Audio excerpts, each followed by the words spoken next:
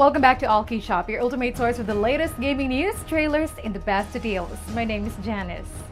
For this week's headlines, Avatar Frontiers of Pandora release date speculation, EA focusing on epic single-player campaign for next Battlefield, and Marvel Spider-Man Remastered. When does it release for PC? Make sure to stick around because we will be announcing the lucky commenter from last week's gaming news at the end of this video. But before that, let's get into the gaming news details first.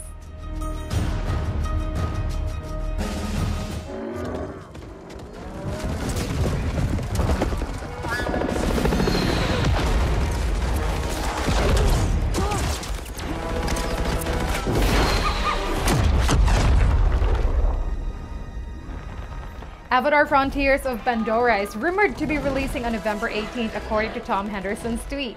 He points out that Sony likes to release games on a Friday, leaving only a few dates in November as possibilities. If news breaks about this game, you can expect to read all about it on Allkeyshop.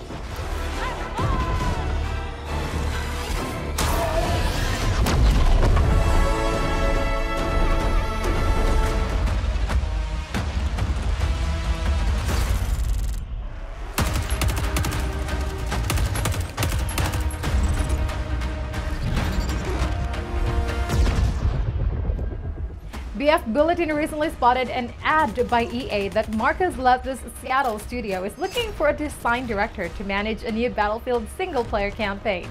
It's remarkable reversal considering EA recently released a tweet mocking those who prefer single-player games.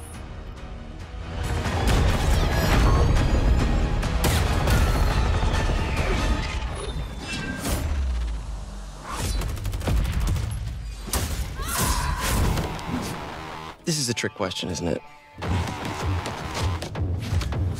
You have to learn to accept that you're human, like the rest of us. Reports of multiple shots fired. Officers are on scene. Do you really need two of those? Sony is finally releasing award-winning Marvel Spider-Man Remastered on PC. It will be on August 12 on Steam, with Marvel Spider-Man Miles Morales coming this fall. Developer Insomniac Games promises more details in the coming weeks. Time to bring back the glory days.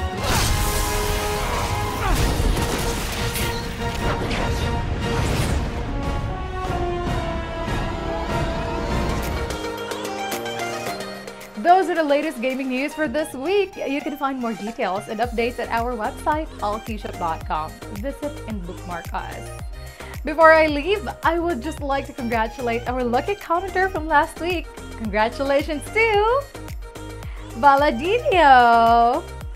Claim your prize by emailing support at allkeyshop.com with a screenshot to your logged in YouTube channel and a link to this video. Congratulations! Don't forget to subscribe and leave a comment on our videos to get a chance to win a special prize. This is Janice. See you next time.